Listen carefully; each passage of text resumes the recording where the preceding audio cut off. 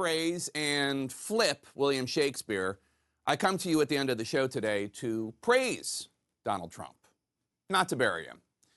Outgoing President Trump deserves our thanks for approving Operation Warp Speed, which helped to bring us the COVID vaccine.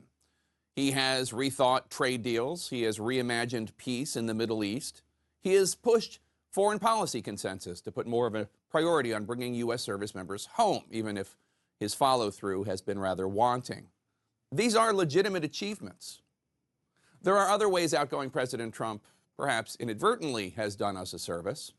The relationship between the news media and the U.S. government should not be anywhere near as antagonistic as it's been under President Trump, but it should be adversarial.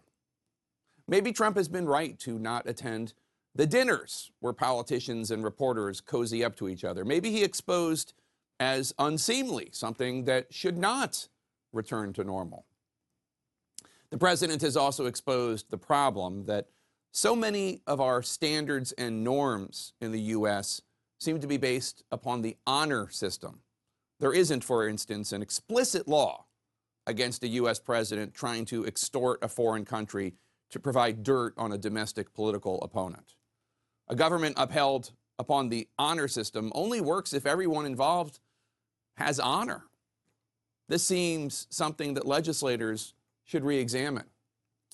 And then finally, let us look at the events of the last week, where the president pushed an insane lawsuit, the big one, he called it, from the Attorney General of Texas.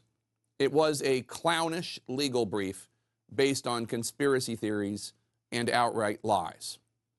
And 18, 18 state attorneys general, some U.S. senators, and a majority of the House Republican caucus, 126 members, supported it. President Trump did us a favor by exposing these elected officials. They are definitionally people who signed on to a desperate desire to subvert the will of the American people, to disenfranchise voters in Georgia, Pennsylvania, Wisconsin, and Michigan based on lies and conspiracy theories, putting an immoral and corrupt power grab above democracy. President Trump did us a favor by revealing to us that those individuals are who they are. And that's important as we go forward because the business of this nation continues. The pandemic, the economy, foreign policy, immigration, and now we know clearly how much these individuals care about facts or truth, how much they care about democracy or the principles that make this country great, which is to say, not at all. Since Election Day, we've seen Republican officials at great professional and personal risk refuse to go along with these lies about the election. From CISA head Chris Krebs to Philadelphia Commissioner Al Schmidt and Georgia Secretary of State Brad Raffensperger. Michigan Board of State Canvassers member Aaron Van Langevelde. Members of the Maricopa County, Arizona Board of Supervisors. From local judges all the way up to the U.S. Supreme Court, we saw honorable American officials look at these nonsense allegations and kick them to the curb. But not Republicans on Capitol Hill.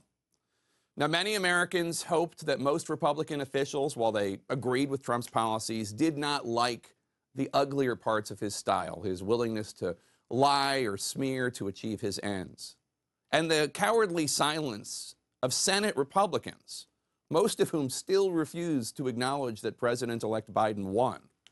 Their silence allows that hope to continue, however misguidedly. But President Trump made House Republicans go on the record. He made them stand and be counted, and 126 of them, including Republican leader Kevin McCarthy and Republican whip Steve Scalise, they actually signed their names to this, this unconservative, undemocratic, un American, mendacious joke of a lawsuit that would disenfranchise millions of their fellow Americans. These House Republicans raised their hands. They said, Sign me up the hope that most Republicans in the House were better than this, that's been destroyed.